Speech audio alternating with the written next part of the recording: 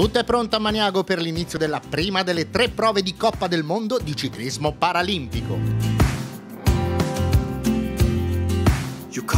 La città dei coltelli, come è chiamata la graziosissima cittadina friulana, famosa per la manifattura dei coltelli e dell'arte fabbrile in genere, dopo due anni dalla precedente brillantissima organizzazione della Coppa, ospiterà più di 350 atleti in rappresentanza di 34 nazioni, per quella che può considerarsi a tutti gli effetti la ripresa internazionale ad alto livello del paraciclismo dopo Rio de Janeiro e, al tempo stesso, importante banco di prova per i campionati mondiali del prossimo anno, che sempre qui a Maniago verranno disputati.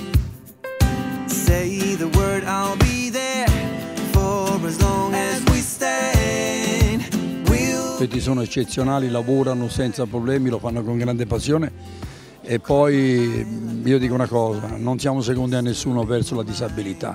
L'Italia, grazie a questi risultati, ha dato un messaggio, i media ci hanno seguito, eh, la tua emittente è un'emittente che allarga il ciclismo e mi auguro che dopo questi diciamo, risultati, queste prestazioni, la gente si attacchi ancora e guardi la disabilità, non questa ma quella che incontriamo con la strada, con molto rispetto.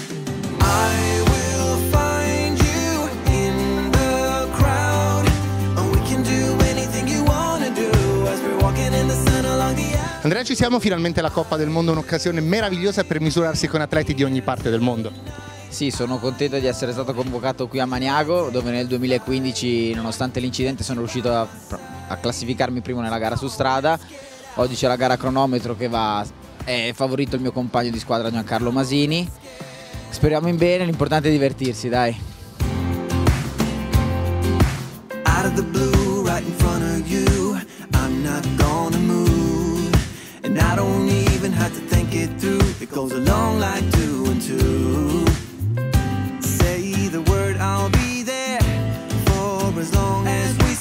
Possiamo dire che qui a Maniago avete trovato la giusta ospitalità? Sì, bellissimo, ormai siamo qua da una settimana qui nei dintorni è stato tutto molto bello, ospitali al 100% e ci stiamo, speriamo di dargli qualche soddisfazione a questa gente che ci ha ospitato così, così volentieri, volentieri ecco. Il pubblico sta aumentando sempre a questo tipo di manifestazioni, è una sensibilità che sta aumentando nei vostri confronti?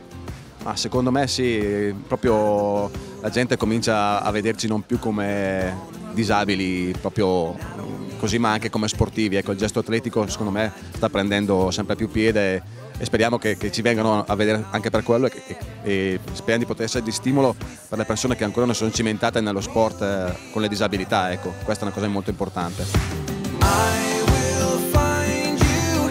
Sono al via tutti i più forti a cercare conferme o rivincite dopo la grande kermesse olimpica. Presenti, oltre alle nazioni europee al completo, anche Stati Uniti, Australia, Brasile, Canada, Argentina, Colombia, Perù, Venezuela e Nuova Zelanda con i loro atleti più rappresentativi.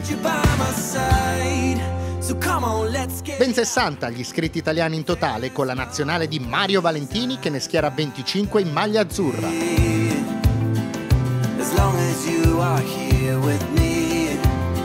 Il circuito quasi completamente pianeggiante di 11,4 km ha visto tre batterie al via nell'arco dell'intera giornata.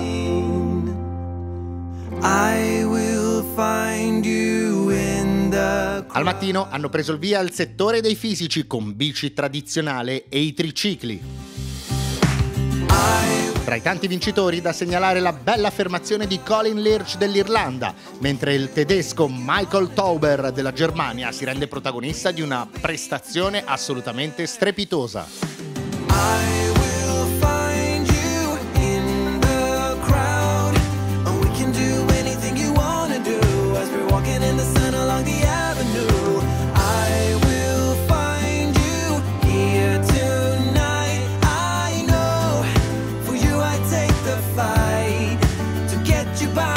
Finalmente si torna a correre, prima prova di Coppa del Mondo, prima gara internazionale dopo le Olimpiadi, era ora.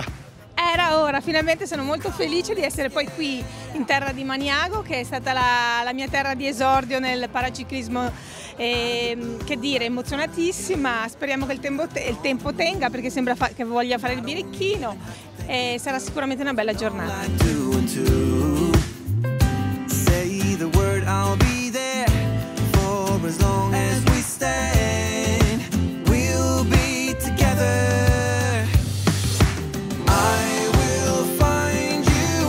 Presidente, la prima prova di Coppa del Mondo qui a Maniago, questo è un orgoglio per il Friuli e un orgoglio per tutta l'Italia. Ma sicuramente anche una, conferma per Maniago perché l'ha già organizzata due anni fa come cittadino, una location straordinaria, un pubblico e tutte, tutti i negozi che partecipano e sostengono l'evento per cui davvero è un clima familiare, questo è molto bello per tutti gli atleti che vengono da 43 nazioni, 450 atleti è un record per una Coppa del Mondo, insomma è l'organizzare italiano, è l'organizzare della società sportiva Giubileo che ormai si è attestata come qualità organizzativa di eccellenza, per cui come dire, la qualità organizzativa italiana nel mondo e con il paraciclismo ha un valore aggiunto perché ovviamente come dire, la tenuta e l'attenzione la, di sicurezza qui deve essere al massimo e devo dire che nonostante la brutta giornata di pioggia, la temporale veramente fitto con qualche sbandata di molti atleti, devo dire che insomma sono venuti fuori alla grande dando assistenza a tutti, per cui siamo felici, orgogliosi di essere italiani e soprattutto di poter organizzare questi eventi che sicuramente esportano un fare italiano nella maniera migliore. Dopo pranzo ci sono tutte le handbike, c'è grande attesa per i tre ori olimpici di Rio 2016, Vittorio Podestali, Luca Mazzone e Francesca Porcellato.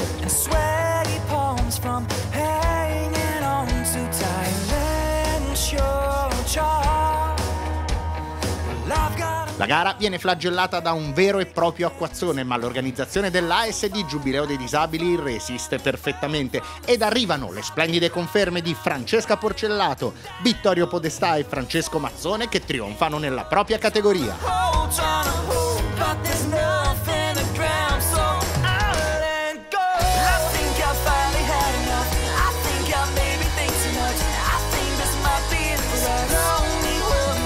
Francesca, prima prova di Coppa del Mondo, meglio di così non si poteva partire.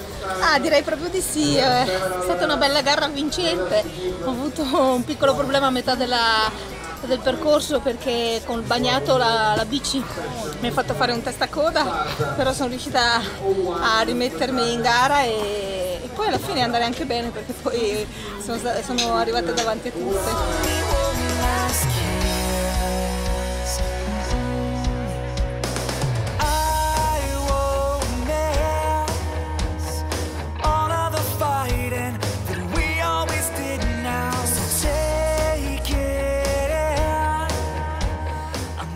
Vittorio, questa era la prima prova internazionale dopo le Olimpiadi, ti sei riconfermata ad altissimi livelli naturalmente.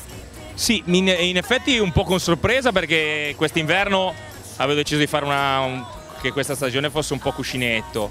Eh, poi in più sono subentrati un po' di problemi familiari, quindi l'allenamento soprattutto eh, novembre-dicembre praticamente non, non, non, non l'ho fatto poi la voglia, quanto mi piace questo sport, ha fatto in modo che comunque facessi un po' di percorso eh, fatto bene. Chiaramente non si, non si fanno miracoli eh, sui, sui, mesi non allenati, però, eh, però sinceramente anche con grande sorpresa fa piacere rivincere anche se per pochi secondi, come mi era capitato nel 2015, avevo vinto per un secondo e mezzo, quindi stavolta per tre, quindi fa piacere.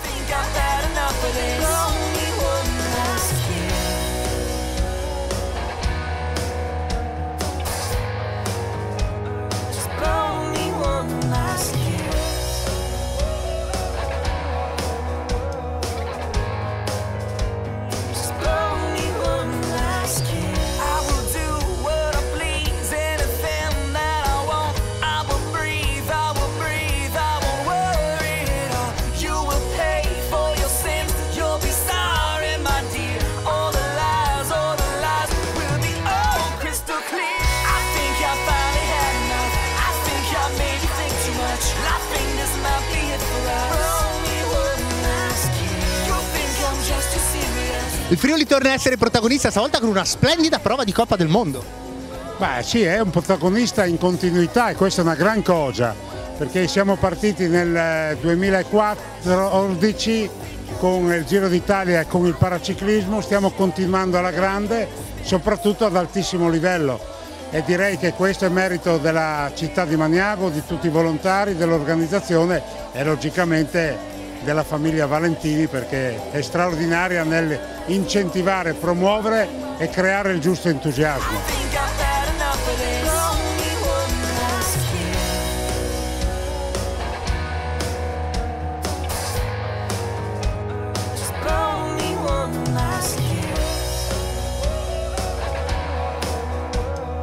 Quanto riguarda il tandem è una prestazione assolutamente strepitosa quella del britannico Steven Bate che insieme al suo compagno chiude con una media strepitosa di 49,6 km orari.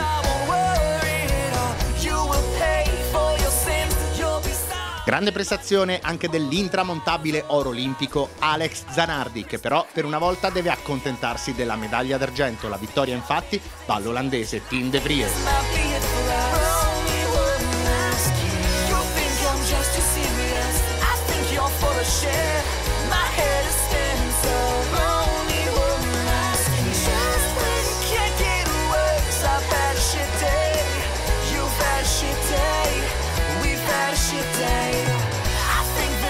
Sindaco sono gli stessi atleti paralimpici a dirlo, ormai qui a Maniago si sentono di casa.